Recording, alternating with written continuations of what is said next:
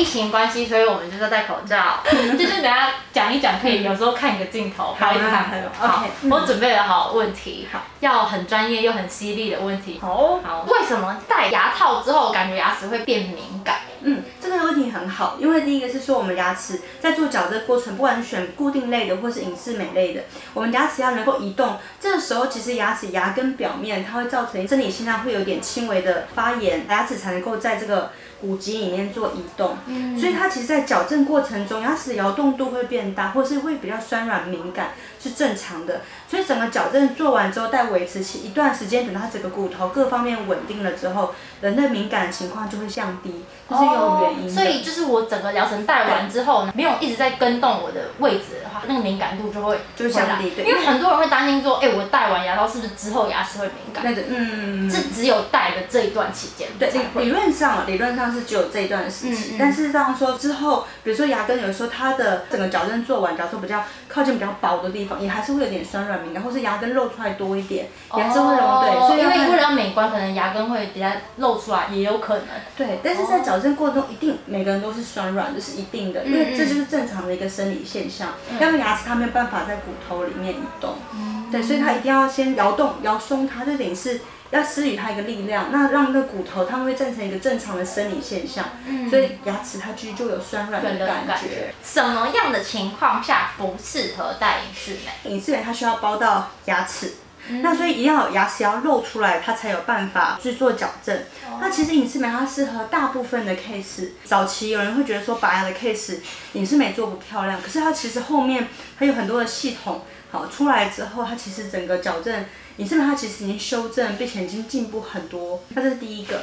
那第二个是说，其实因为隐适美它需要包到牙齿，好对，需要包到，所以有些埋在骨头里面的一些埋生齿、主生齿，要把它在矫正的治疗阶段里面把它拉出来的话，就会变得不适用隐适美。早期就需要先用固定的矫正器，先把它拉出来之后，才能够后面才换成隐适美。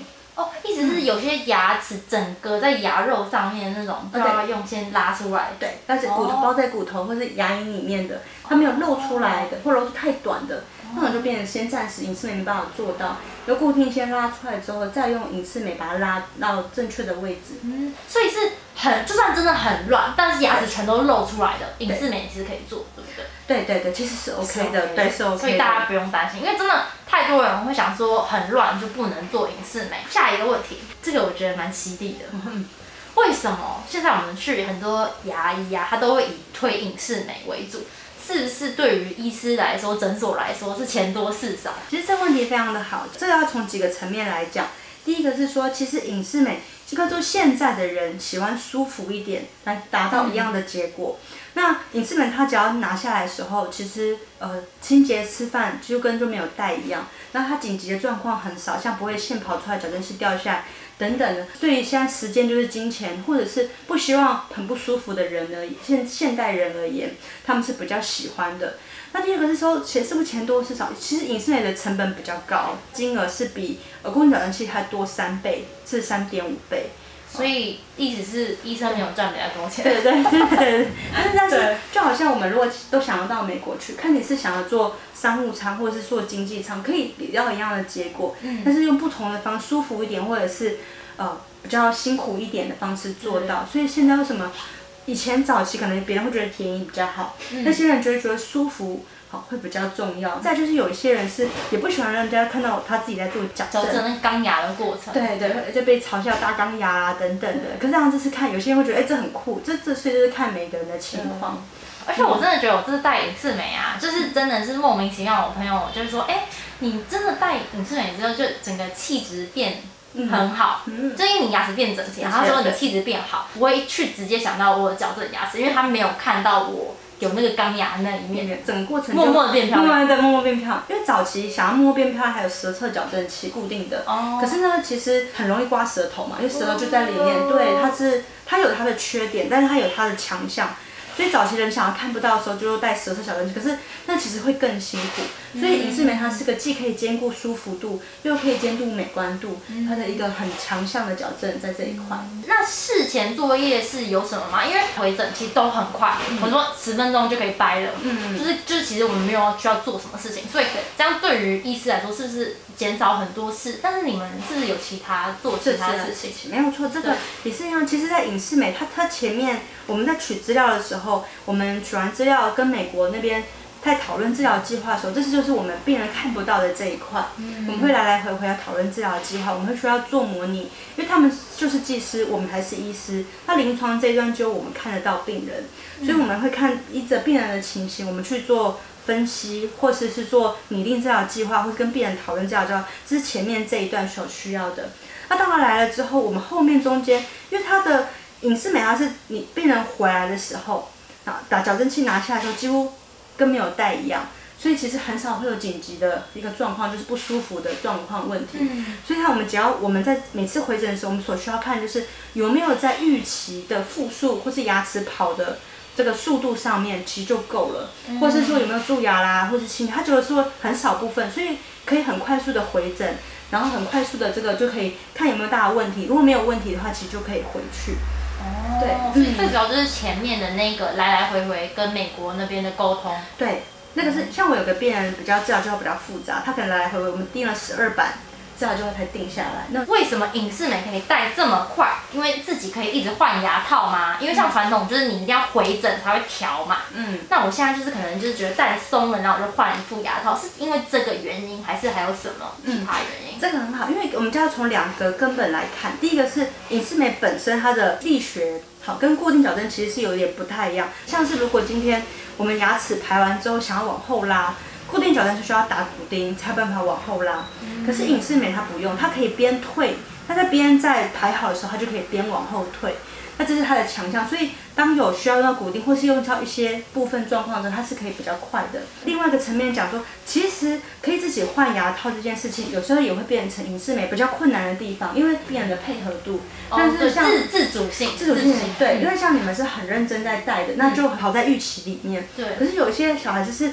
因为戴起来，其实矫正不管在用什么矫正器，其实都会有一点紧紧，不是那么舒服。对对对。只是第一个一点更高一点。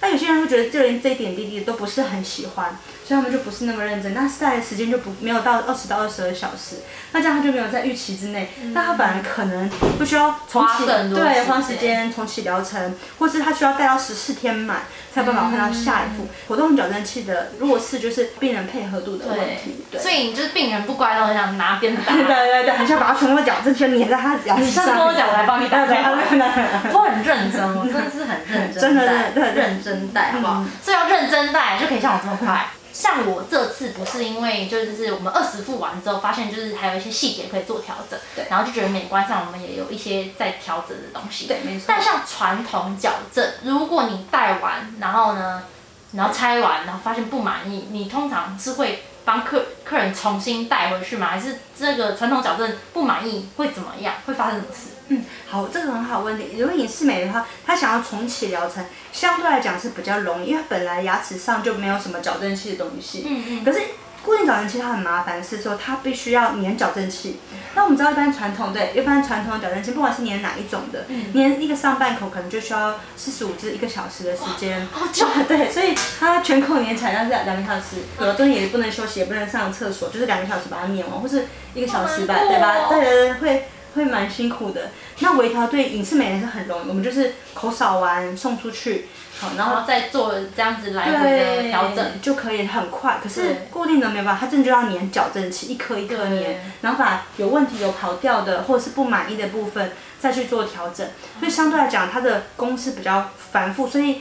固定矫正器也是常跟病人讲说，你要先确定你想清楚了，你觉得 OK 了，OK 了，对，你真的满意了，我们再拆矫正器，因为它的矫正器要再重粘很麻烦，它需要的费用也会相对来讲还要再收一次的费用。有最近几个做传统矫正器的朋友，我有看拆完牙套，我说，哎，那你觉得你自己的牙齿，你觉得是满意的吗？你感觉？我不，当然不是说我觉得它好不好，反正我觉得你自己觉得满意吗？对，没错。他说，其实就是。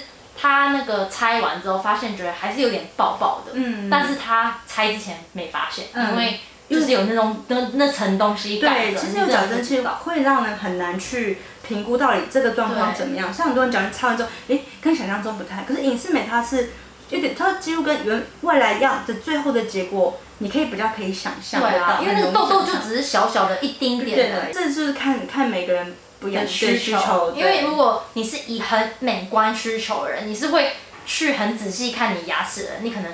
传统拆完就觉得哦哪里就不对，嗯，可是影视美我就可以慢慢看，慢慢看自己的牙齿。那微笑曲线是什么？因为影视美常常就是有那个都是有那个微笑曲线，对。其实矫正医生都很有趣，就每好像把每一个矫正病人都做出一个很漂亮的微笑曲线。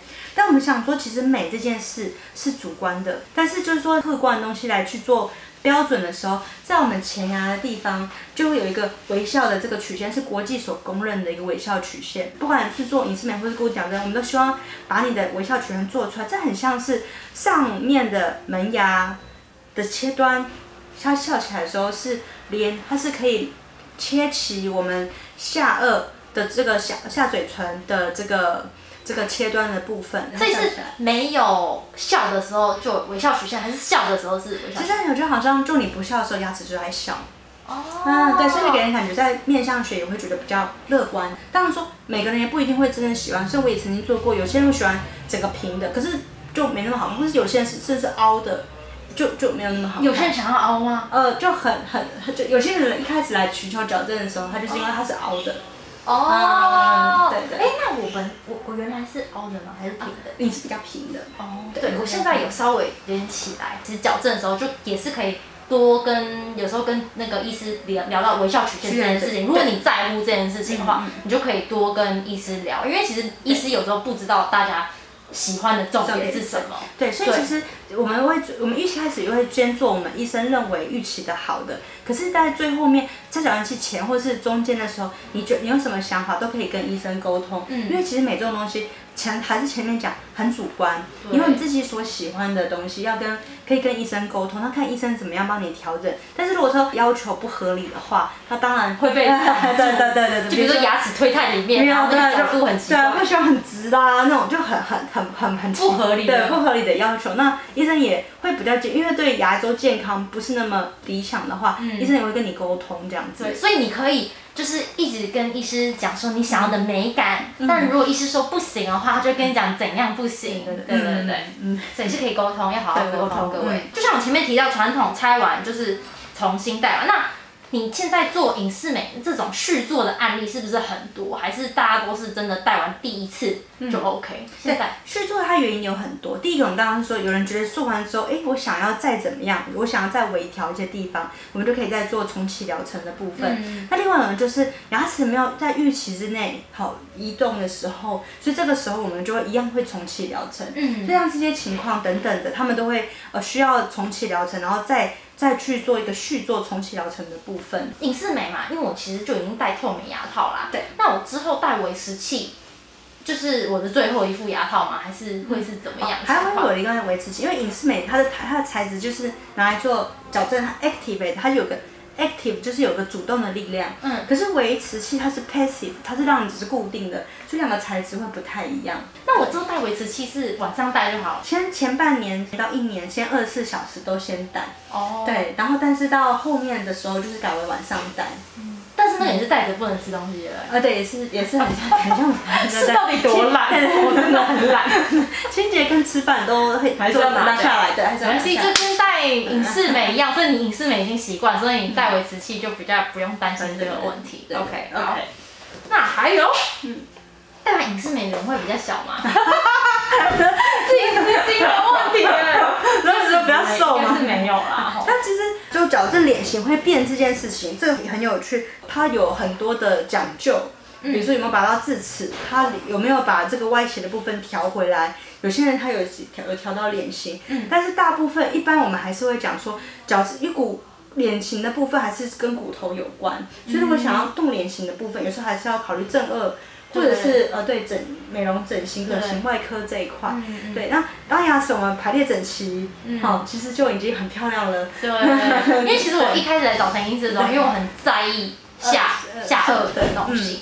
那陈医师也真的很直接跟我说，这个就是办不到，他他他没有就是说服我先做牙，然后他说，不然你先去那个正颚看。对。然后我正颚看完，意思说我真的不需要做，因为就一点点，它就是它在灰色地带。有些情况是灰色地带的话，就纯矫正就可以。对。但是因为我们没有动到骨头，所以比如说我们侧面的鼻子最中最凸点，嗯，然后。